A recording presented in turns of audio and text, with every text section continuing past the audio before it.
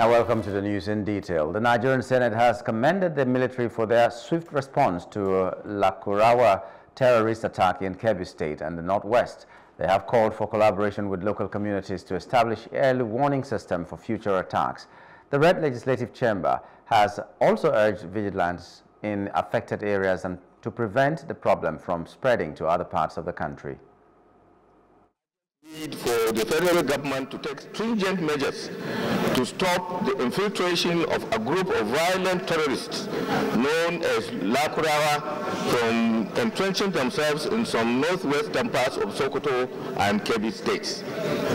Senate aware that a group of terrorists from neighboring Burkina Faso and Mali known as Lakurawa has infiltrated the country through the Nigeria-Niger border at Ilela Tangaza, Silame local government areas of Sokoto state and are there the, uh, and from there attacking communities in Augie and Arewa local governments in Kebbi state.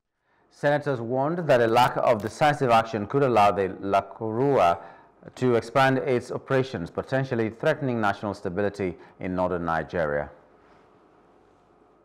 You recall that banditry started in Zamfara state.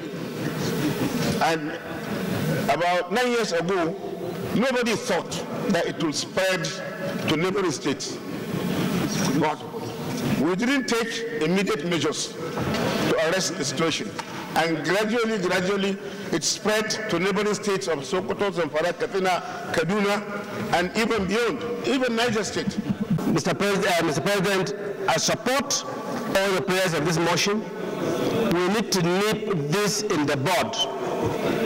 It's too serious for us to allow to take it lightly because these people are well armed with sophisticated weapons and I believe they even have some international connections.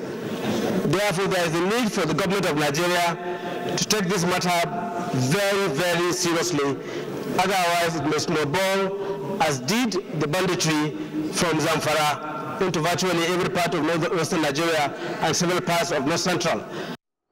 Senate President Godswill Akpabio emphasized the importance of citizens collaborating with security agencies to prevent terrorist activities following lawmakers' contributions. And uh, this is the way it starts.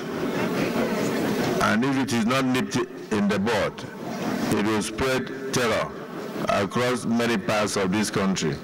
So I also want to use this opportunity because from the body of your, your motion, you pointed out that the Nigerian military moved swiftly and they were able to dislodge them uh, from the communities that they killed people and occupied.